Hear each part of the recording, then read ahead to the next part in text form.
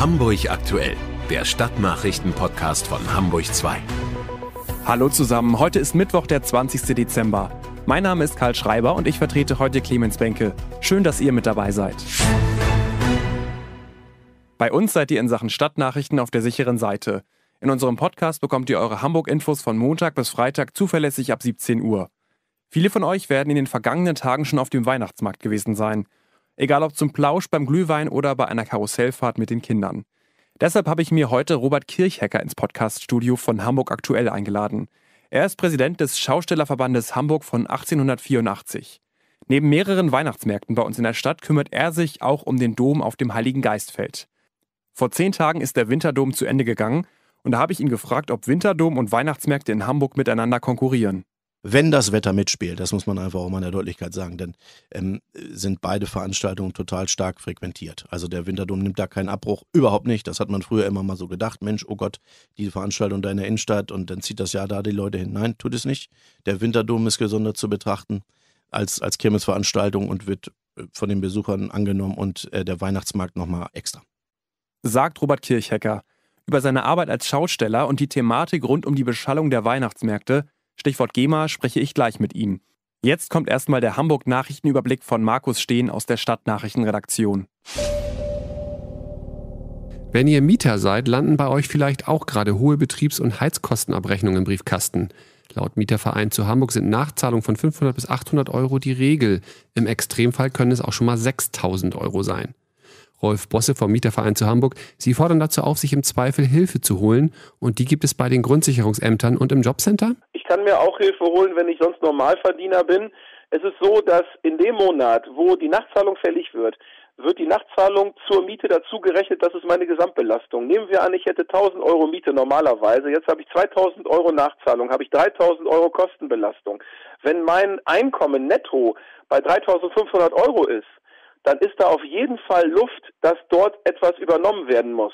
Gut zu wissen. Es kann sich also lohnen, wenn ihr eure Nebenkostenabrechnung einmal vom Amt checken lasst. Jetzt geht es dem ehemaligen Entführer unseres Hamburger Sozialwissenschaftlers und Tabakerben Jan-Philipp Remzma wohl an den Kragen. Denn die Staatsanwaltschaft Köln hat im Prozess gegen Thomas Drach jetzt ihr Plädoyer gehalten. Und was gefordert, Karl? Ja, staatliche 15 Jahre Haft mit anschließender Sicherungsverwahrung. Sollte der Richter so entscheiden, würde Drach nie wieder aus der Haft entlassen werden. In dem Prozess ging es um Überfälle auf Geldtransporter vor Ikea-Märkten in Köln und Frankfurt aus den Jahren 2018 und 2019 sowie einen weiteren Überfall am Flughafen Köln-Bonn. Dabei hatten die Täter rund 142.000 Euro erbeutet. Bei zwei Überfällen habe Drach auf Geldboden geschossen, was laut Staatsanwaltschaft versuchter Mord war. 1996 hatte Thomas Drach den Tabakerben und Sozialwissenschaftler Jan-Philipp Remzmer hier in Hamburg entführt und nach 33 Tagen ging eine Zahlung von 30 Millionen Mark wieder freigelassen. Ein Großteil der Beute ist bis heute verschollen. Danke, Karl. Wenn das Urteil fällt, sagen wir euch natürlich Bescheid. Kleine Warnung für alle nahe an der Elbe-Parker. Unser Bundesamt für Schifffahrt und Hydrographie erwartet für morgen Abend und Freitag Sturmfluten bei uns in Hamburg und in Schleswig-Holstein. Carolina, wir müssen uns aber keine großen Sorgen machen. In Hamburg wird am morgigen späten Abend die Sturmflutmarke von 1,50 Meter über dem mittleren Hochwasser erwartet. Das ist aber noch nicht so viel. Ab dem Wert fängt das Bundesamt erst an zu warnen. Etwas anders könnte das dann am Freitag aussehen. Da heißt es, dass die Wasserstände höher ausfallen könnten. Ob aber die Marke einer schweren Sturmflut von 2,50 Meter über dem mittleren Hochwasser erreicht wird, ist demnach noch nicht klar. Diese und andere Meldungen des Tages hört ihr jede Stunde immer um halb in Hamburg aktuell. Tatsächlich die meisten Nachrichten aus unserer Stadt. Bei mir im Podcaststudio von Hamburg Aktuell ist heute Robert Kirchhecker. Er ist Präsident des Schaustellerverbandes Hamburg von 1884. Schön, dass du da bist. Ja, moin. Schön, dass ich da sein darf. Wie bist du denn Schausteller geworden?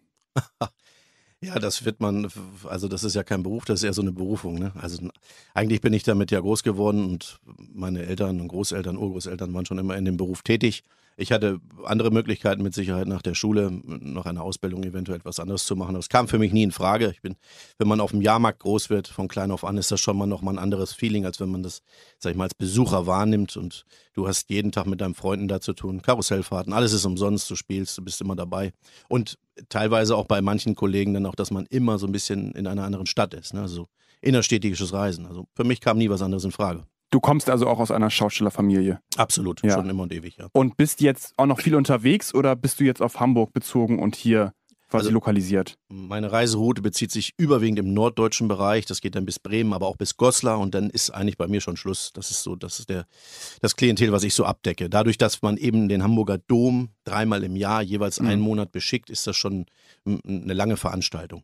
Und als du klein warst, als deine Eltern Schauspieler waren, wart ihr da mehr in Deutschland unterwegs oder hat sich das auch auf den norddeutschen Raum beschränkt? Überwiegend war die Reiseroute so, das ging vielleicht noch mal ein bisschen weiter runter bis eben Büren oder so, die, Mhm. die Geschichte. Aber ich sag mal, München, da ist Familie von uns zum Oktoberfest, die, die dort auch ansässig sind, aber wir selber eigentlich überwiegend der norddeutsche Bereich.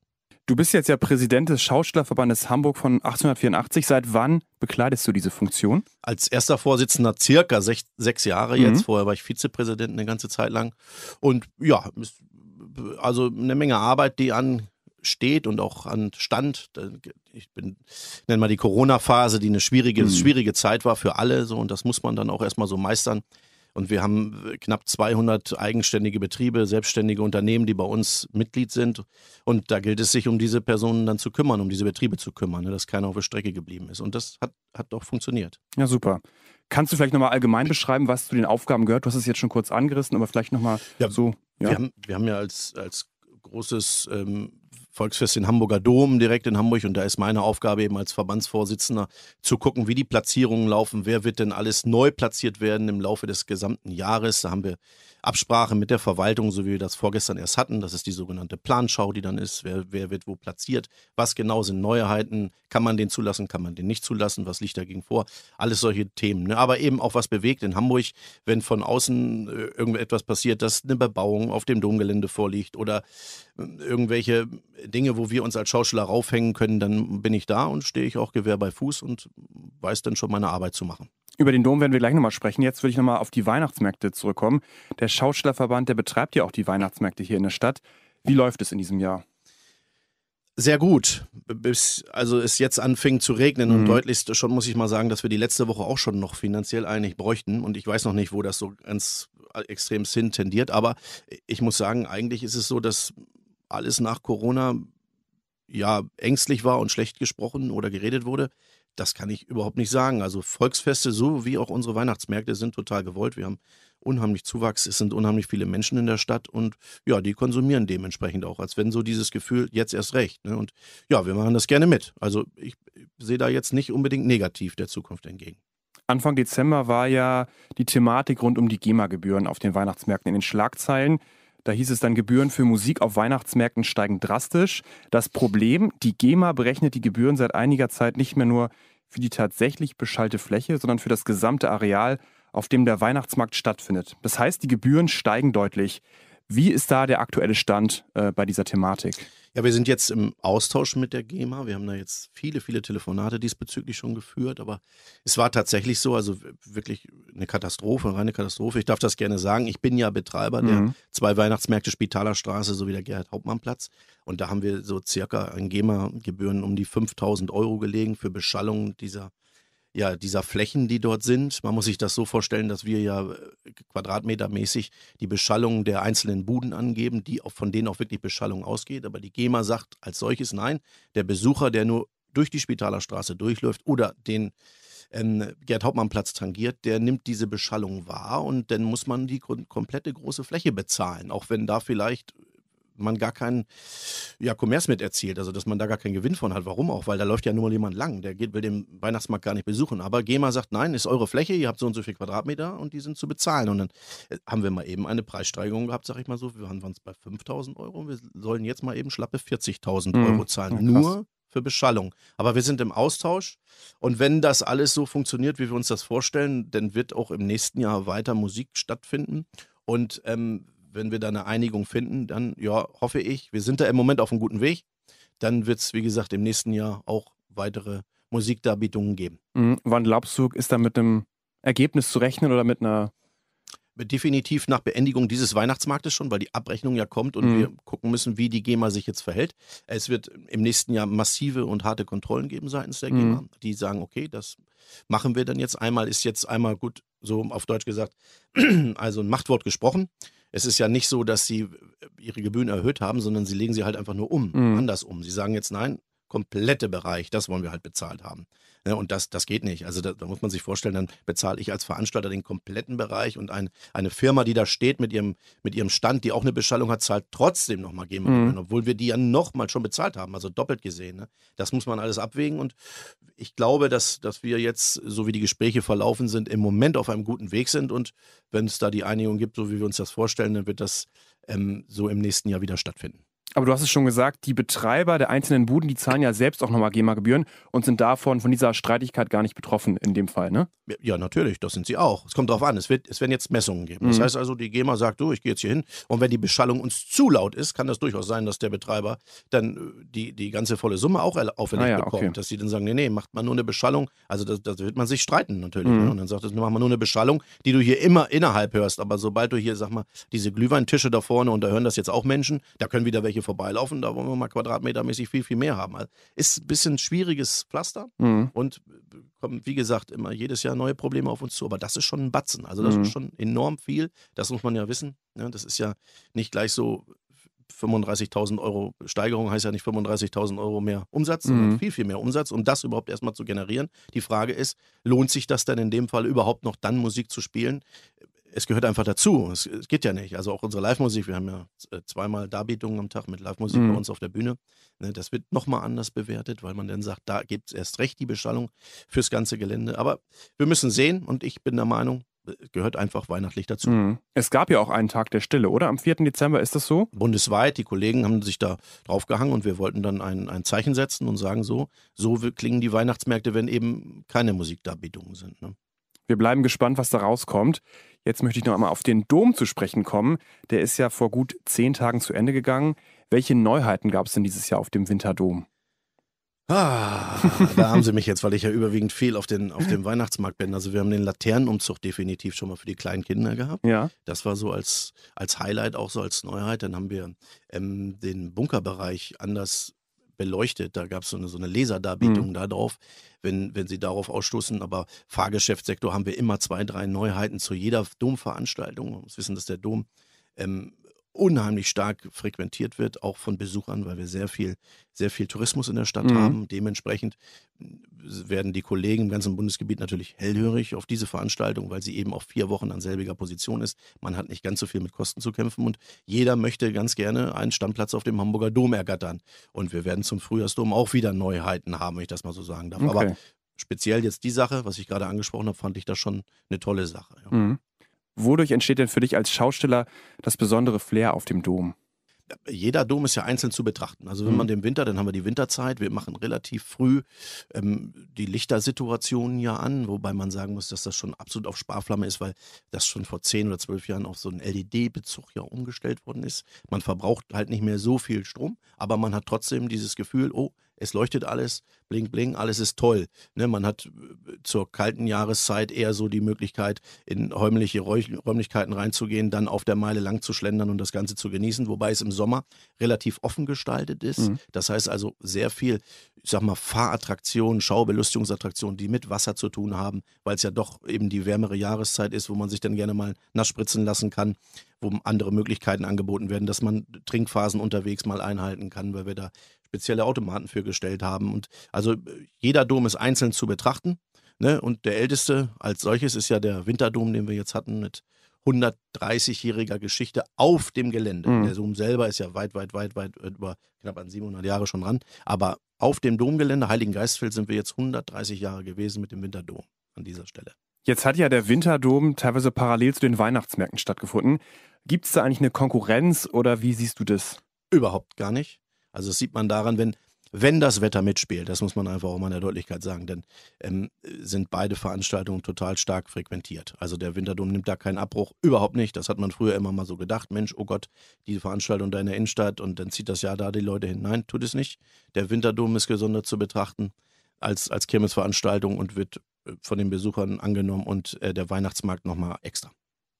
Hamburgs Wirtschaftssenatorin Melanie Leonhardt, die spricht von einer beeindruckenden Bilanz, die zeigt, dass eine so traditionsreiche Veranstaltung wie der Hamburger Dom seine Anziehungskraft behaupten kann. Also sie zieht eine positive Bilanz. Welche Bilanz ziehst du denn jetzt vom Winterdom dieses Jahr? Also ich sag ja, wir, wenn der wenn das Wetter mitgespielt hätten, dann toppen wir hier irgendwie einen Rekord nach dem anderen. Und ich sage, nach Corona ging das so los, dass die Leute sagen, so, denn irgendwie jetzt erst recht, dass nie abgeflacht ist. Ne? Und der letzte Winterdom war schon sehr, sehr stark und also der, der, der davor war und der, der jetzt beendet worden ist, litt einfach nur darunter, dass wir unheimlich viel schlechte Wetterkapriolen hatten, mhm. sehr viel Starkregen. Und dann ist es natürlich für offenere Geschäfte, Kollegen im Außenbereich schon auch sehr schwierig, weil das Publikum wegbleibt. Das würde ich auch tun, kalt und nass. Aber ansonsten so, also diese Veranstaltung überhaupt nicht wegzudenken aus der Stadt Hamburg. Und das hat man auch erkannt seitens der Politik und deshalb hat man dieses Gelände ja auch erneuert für viel Geld. Und wir bleiben dabei. Wie siehst du denn die Zukunft der Schausteller im Allgemeinen? Also, so wie es jetzt ist, total positiv. Es gab sicherlich immer mal Phasen, wo es so ein bisschen auf und ab ging, aber wir haben uns immer durchgebissen. Und also ganz ehrlich, wir sind das beste Antidepressiva, was es gibt. Mhm. Und wenn man Sorgen hat zu Hause, wo nicht, wenn, wenn auf die Kirmes gehen, zu den Schaustellern gehen, es kostet ja nichts. Ich, ich kann ja lang schlendern, die Meile. Ich muss keinen Eintritt zahlen, muss nichts. Ich kann das einfach genießen, dieses Flair, was da ist. Und ich kann über mein Portemonnaie dann selber entscheiden, was, wo will ich konsumieren, was möchte ich machen. Ne? Und das, ist, das macht es so wirklich herrlich aus. Also es ist einfach abschalten und einfach mal diesen stressigen Alltag vergessen. Und dafür sind wir da. Wir haben ja schon kurz über den Frühjahrsdom gesprochen. Der findet vom 22. März bis 21. April 2024 statt. Auf was können wir uns denn da freuen als Besucher? Ja, wir hatten Besprechungen, da gibt es ja noch so ein bisschen sag mal, die Möglichkeit, dass der ein oder andere Betrieb eventuell nochmal absagt und ein neuer dazukommt und so, aber wir haben ein, zwei Neuheiten. Ich weiß nicht, ob ich sie jetzt schon verkünden darf. Okay. Das ist ein bisschen verfrüht. Kann immer mal sein, dass da noch eine Umstrukturierung ist. Dann hieß es auf einmal, Mensch, der Kirchegarten schon da im Radio rausposaunt. Deshalb mache ich das nicht. Aber ich kann sagen, also der Frühlingsdom wird genauso attraktiv werden wie die Jahre zuvor, wenn nicht sogar noch ein bisschen mehr. Es sind ein paar Umplatzierungen, die dort stattgefunden haben. Das Publikum wird das vielleicht als solches wahrnehmen. Ansonsten kann ich nur raten, besuchen Sie den Frühlingsdom und Sie werden eine Menge Spaß haben. Definitiv. Okay. Gibt es jetzt noch was zum Ende unseres Gesprächs, das du sagen möchtest, worüber wir nicht gesprochen haben? Schwierig. Also wir haben schwierige Phasen, wir haben eine schwierige Zeit, wir haben den Krieg im Grunde genommen mhm. vor der Haustür. Aber ich kann nur sagen, wenn man so ein bisschen ruhig und besinnlich doch noch den Jahresausklang finden sollte, dann gehen Sie noch, besuchen Sie noch unsere Weihnachtsmärkte, nehmen Sie so ein bisschen Abstand vom, vom ja, von dem Geschehen, was sie vielleicht in den Medien immer für wahrnehmen, wo kann man das nicht besser tun, als wenn man vielleicht nochmal die bunten Lichtermeilen bei uns in der Innenstadt entlang schlendert und den ein oder anderen Glühwein oder auch das ein oder andere eben konsumiert und so ein bisschen die ganze Sache vergisst. Das kann ich nur sagen. Und ich wünsche allen frohe Festtage und einen guten Rutsch ins neue Jahr. Sagt Robert Kirchhecker, Präsident des Schaustellerverbandes Hamburg von 1884. Vielen Dank für das Gespräch. Sehr gerne. Hamburg aktuell das ist euer Stadtnachrichten-Podcast. In der vergangenen Woche ist die 28. Weltklimakonferenz in Dubai zu Ende gegangen. Über die Ergebnisse der COP, also der Conference of the Parties, spricht Markus Steen morgen mit dem Wetter- und Klimaexperten Frank Böttcher. Welche Auswirkungen haben die Beschlüsse für Hamburg? Darum geht es morgen in der nächsten Folge von Hamburg aktuell. Abonniert uns, empfehlt uns weiter und für Kritik, Fragen und Vorschläge könnt ihr euch jederzeit bei uns melden unter stadtnachrichten.hamburg2.de. Ich bin Karl Schreiber. Bis dann. Hamburg aktuell der Stadtnachrichten-Podcast vom Radiosender Hamburg 2.